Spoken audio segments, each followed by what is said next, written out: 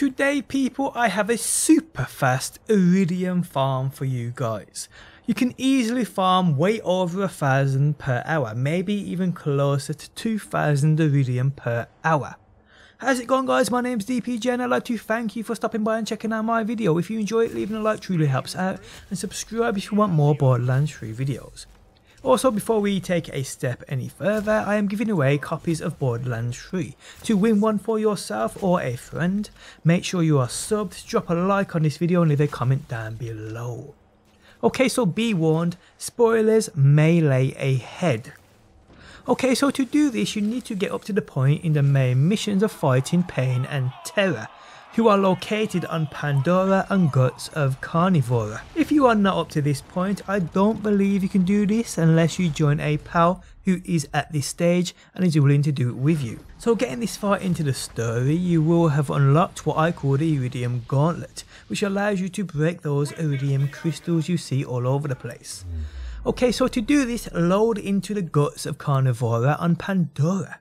Once you've loaded in, turn back on yourself and head into Carnivora. What this does is saves you fighting through groups of enemies and saves you a little extra time. So once you are in Carnivora, follow my lead to this catch a ride.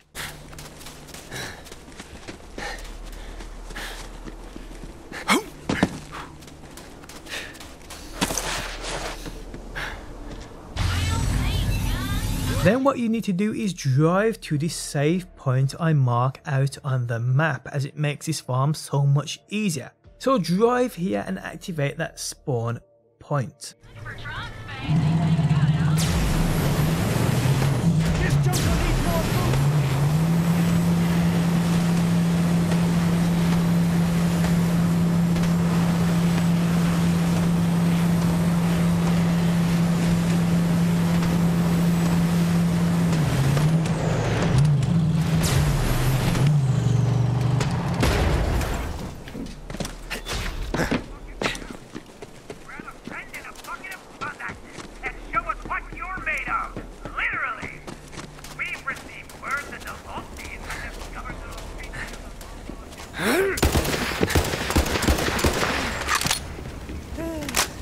Then what you need to do is drive to this destination I pinpoint on the map. Here you will find a room full of those eridium crystals. Smash them all and grab that eridium people and even grab that weapons crate too if you need it.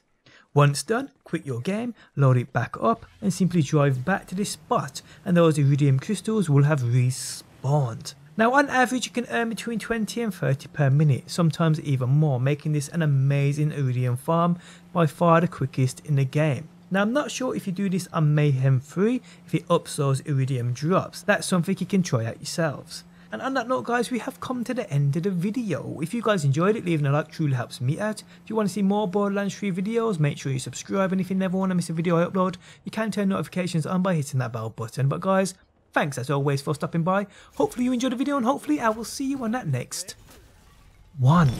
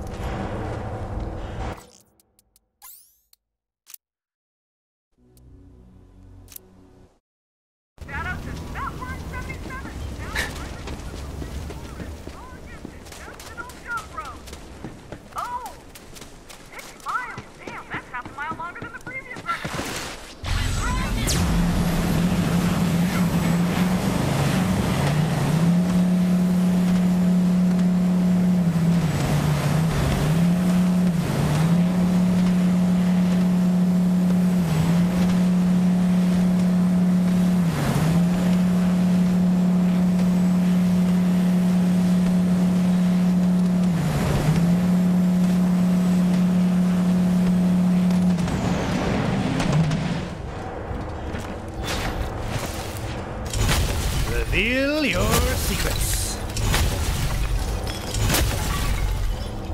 Stop breaking through that.